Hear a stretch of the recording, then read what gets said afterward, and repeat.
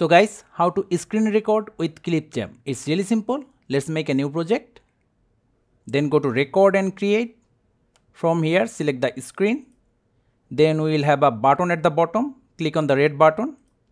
Then we will have several options like recording tab, window or the entire screen. Let's select the entire screen. Then left click on here. Then share. Our recording already started as you can see hide this text box. Let's get back to media, then import media, import something,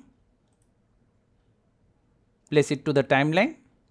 Let's visit some website, suppose YouTube,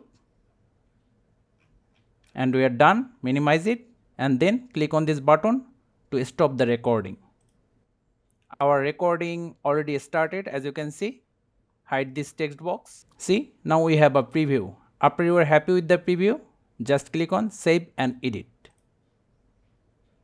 And here we have our recording. Now do whatever you want with this recording. So guys, that's how easily we can screen record with Clipchamp.